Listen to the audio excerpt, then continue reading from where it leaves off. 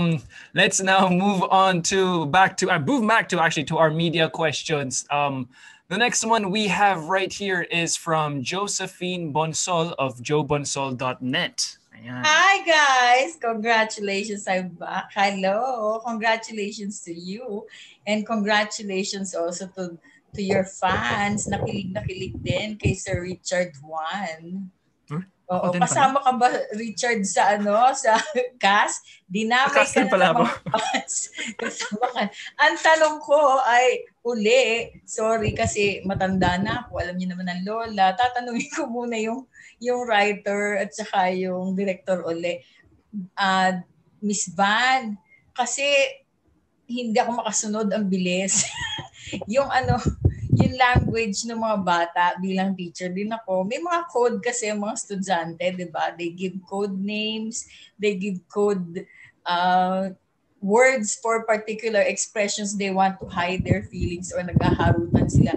It, it's it's very obvious also the way they they ano they chat yung mga in between messages. Did you also incorporate that? Nakakakilig kasi yung mga bata sa fans din nakikita ko rin yung mga words na Hi, it's very new to me. Pansin mo ba yun? Mas bad? mm Um, actually po, before we started writing it, we interviewed a group of high school students kung ano yung mga terms nila, ano yung Gen Z slang, ano yung paniniwala nila about love. Tapos may ginamit talaga silang words na nilagay namin sa script. Kasi para daw sa kanila, paano mo na distinguish between dating someone and being in a relationship with someone? Kinumpare nila yan sa ano, subscription. Ganon. Makikita nyo sa isang episode kung paano nila yung ginamit yung terms na yon. Like so, for example, for Donnie, ang kulit ni Donnie, no? May mga ano siya, may mga expression siya dun sa chat. Tapos nakikita ko din sa comment dun sa Facebook, mga ano, mga fans niya, anakan mo ko, apakan mo ko. Yung mga... parang na-stress po si Donnie doon sa sinabi niyo. O, na, napaganon siya. Nagulat din po siya na may mga ganon, di ba po? Oo, pero, pero for, oh, for students, di ba, these are just... Yes, opo, yes. yes. Opo, pero Mommy Joe, we had to write it in such a way that even if you're not even if you don't speak their language, maintindihan nyo pa rin yung show. Kasi nga, we keep saying, the show naman is not just for young people. The show is for everyone.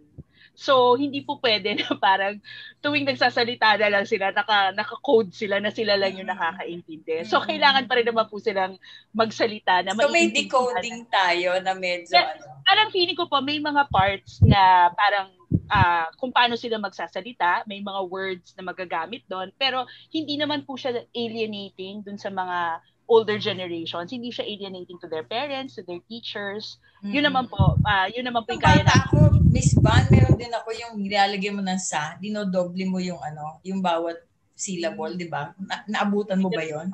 Hindi po. Sorry, hindi po. Hindi ko po alam. Hindi ko po alam, Mami Jo. Sorry po. hindi ko po alam. eh, wala kayong code language no high school?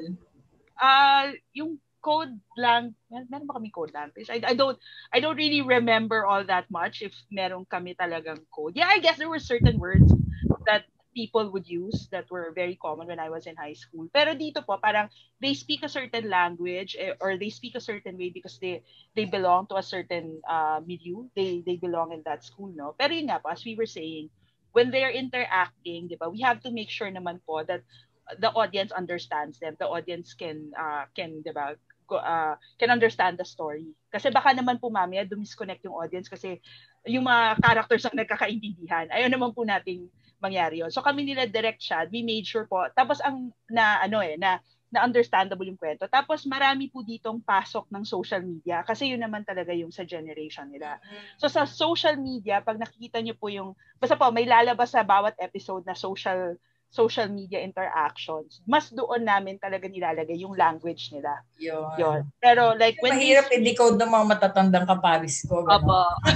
Hindi naman po mahirap i-decode. Parang feeling ko po pag nasanay or pag naturuan, pag na maintindihan rin naman po ng parents yung mga sinasabi nila eh. So parang parang ganun po. Pero hindi naman po siya alienating. And that's what's important for us because we want it to be a show up na with a universal appeal.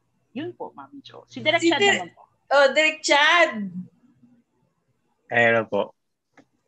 Ayun Oo, po, yun. ah nasabi naman po ni Ms. Van nga na parang, syempre, ah since our series is ah, about Generation Z, so parang ako personally, yun nga, parang ah hindi naman po rin na rin kasi ako sa kasama sa generation nila. Pero, so ako minsan, ako na talaga yung nagtatanong sa nila na paano nyo ba nasasabi, ano, paano nyo ba, kunyari, paano nyo ba na-express is, express sa language nyo, yung ganito.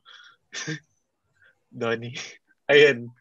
Tapos, um, ayun nga, para, yun nga, para we make sure that um, uh, even if they have their own language from time to time, um, we make sure that um, the general audience will still understand it or can read between the lines. Ayun.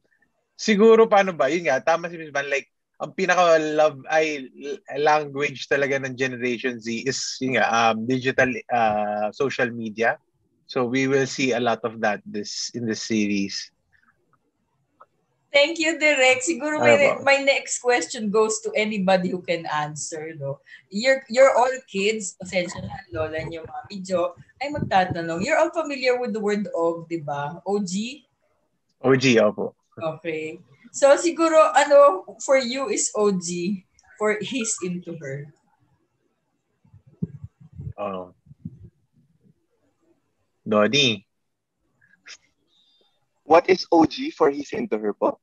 Yes. Ang kulit mo, Donnie, ang cute-cute mo. Lahat nagsasabi, ang pogi-pogi. Ilang pogi Ay, mas, may mas nabasa cute ko po kayo, Miss Josephine. Grabe naman. Mas cute po kayo. ano yung OG? Paano ba? OG? Parang ikaw, her. OG ka. Kasi you're unique, you're one of a kind. So what's unique about he's into her? Ganun po. Yeah, I guess. Because OG stands for, it evolved from the word original gangster, di ba? OG. Mm, mm. Yeah, si Jello. Si Jello po may sagot. Si Jello. Ayan, Jello, ano sagot mo? Anong OG tungkol sa he's into her? OG, original gangster po. Al Pacino. So, ano nga yung, bakit OG yung he's into her? Kasi po, ano eh, hindi old school, Maya. Iba yung old school. Iba yung old school. OS yung old school ba? Kasi ito na, ito na yung mga terms na ano. Maya, meron ka bang ano? May entry ka ba kung ano yung OG? Ito, Maya. Pagkaintindi ko sa OG, parang old school OG. Classic. Yeah, you're the OG. Parang original, ganon, ganon, no? Parang, Mhm. Parang ano po, original sa Isin Tour, yung ano po, yung authent, ano yan? authenticity. Authenticity yan, yan. yan. Yun. Authenticity ng mga characters and yung story, yung po ang pinaka OG talaga na masasabi po namin yun na po. Peace out. Solid, solid.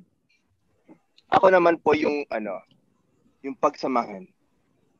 Yung cast. Aww. Pinagsamahan, tama ba? Yung pinagsamahan namin. Yun. Yung uniqueness ng bawat cast at paano kami nag-jive. Ay. Kakilig! Congratulations! Grabe! Maraming salamat. Thank you very much and congratulations to everybody. Thank you po. Uh, Thank you so much, Miss Josephine.